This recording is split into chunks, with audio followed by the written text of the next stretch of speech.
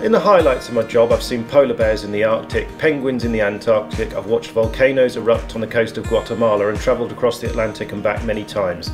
These are the rare perks of being away at sea.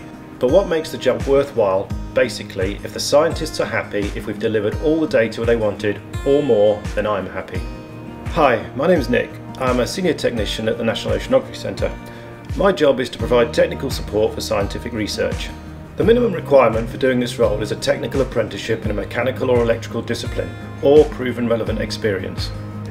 I studied mechanical engineering, obtaining an HND and then an accredited bachelor's degree at Plymouth University.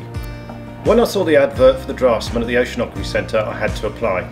The opportunity to work in an environment of world-class research and get involved in exploring the oceans was irresistible. I started out in the design office, but over time and with the changing opportunities of the organisation, I took on a more practical seagoing role. My working day at the office or in the lab is flexible and dependent on what cruises we are preparing for and what equipment is required. Nominally, it is a 37 hour week, but when we go to sea, the days can be up to 12 hours long, 7 days a week for as long as 6 weeks. It sounds grueling, but it's also what's kept me here for so long.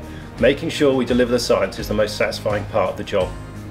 I work as part of the Centres of Mooring team. We have thousands of scientific instruments and pieces of equipment that are kept in a ready-to-go state.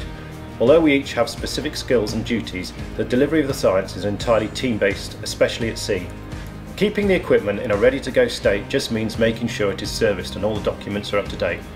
Some instruments we service in-house, others we need to send back to the manufacturer. The main thing is making sure it is ready for the next deployment, a bit like servicing a car before a long journey.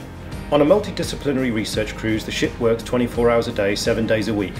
The moorings team might work through the day, deploying and retrieving moorings, and at night, the remotely operated vehicle team will deploy a remotely operated vehicle. This might repeat the next day, or a totally different suite of instruments or equipment might be used. Being interested in science and understanding its value, for me, is key to enjoying working at the National Oceanography Centre. Without that, it is just a job and I could never have stayed this long.